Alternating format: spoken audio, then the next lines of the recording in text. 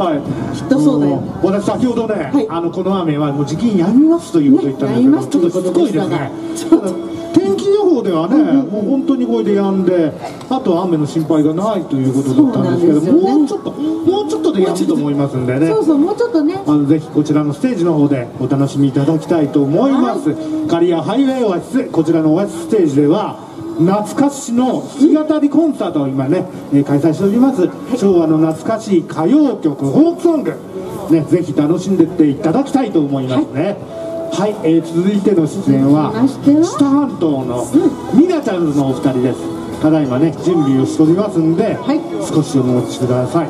今日の出演者の中では一番の懐かしいね、えー1970年代のフォークソングを主にねやるあのグループでございますもう好きな方にはたまらないと思いますのでね。そうですね。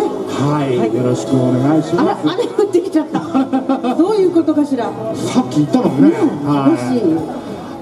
あの私たちはね、あのカリアーズと言いましてこのミナちゃんの次に、えーちょっと演奏させていただきますのでどうかよろしくお願いします。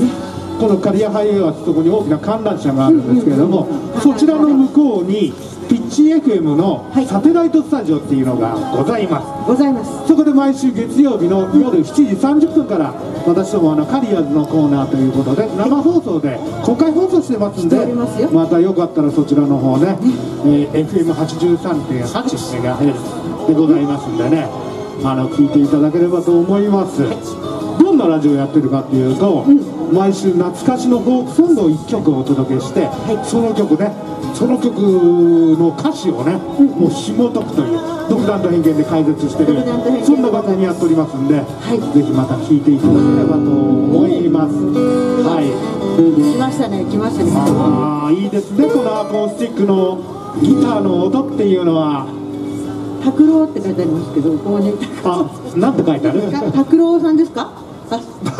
可愛いのがねこれあのトップバッターのこれヤコババンドの皆さんそのままね、えー置いてったということでございます、はい、ということで準備が整ったようですね